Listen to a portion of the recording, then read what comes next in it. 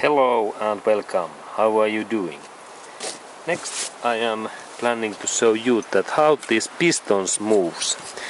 And uh, and now this motor is in upside down, but when we look this piston, this is connection rod and there is this piston in that area.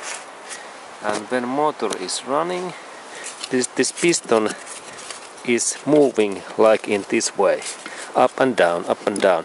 And every time when spark plug gives spark, this piston is in this up area, and then when this spark plug gives spark and fire, then there happens a small explosion and this piston goes up and down.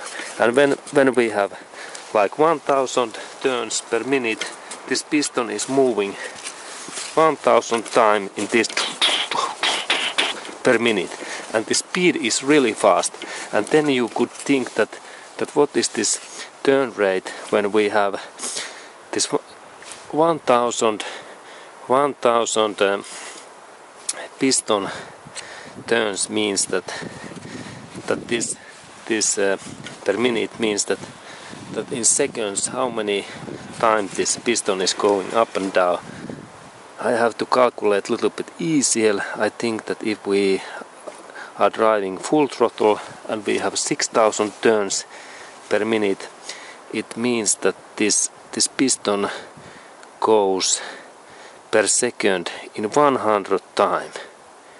100 per 60 is 6000 and this means could you believe that I do this 100 times per second in this piston it is really fast.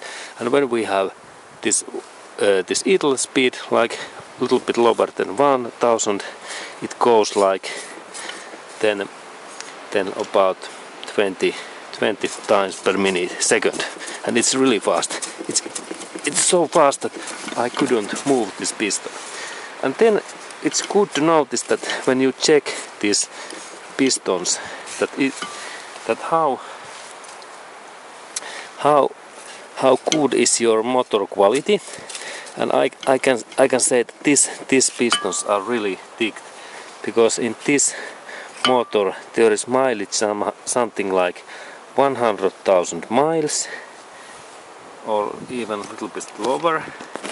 And, and when I move this piston in this rotation there is no any clap and then when I move in that position there is no only this rod is moving a little bit. And then I by the way noticed that that here is also those bearings that we have to we have to do markings also in here. And and and this piston is moving like you could could you see. And then then there are those those crankshaft bearing areas and then I rotate these uh, pistons in other side that we can check those those pistons in in here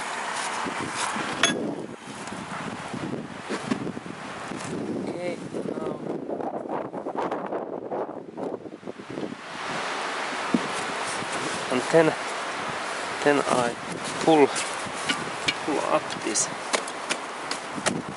pistons okay and I can actually move these pistons so that that I I press this piston down and it goes down. And then when I rotate this area I can pull I can pull up this connection rod and then I can insert that in back in this way.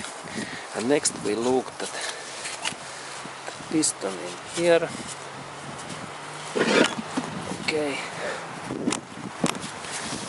Okay and there are those pistons. And when I pull up this piston it goes down. And then when I little bit.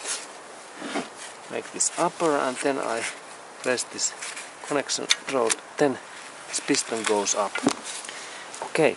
And now it happens that that here we can see those those uh, piston rings in there. The small small part what is moving in there. And that means that if this kind of situation happened we can't press this anymore down because afterwards we need to compress that in this way and then then so that we don't destroy this this piston ring.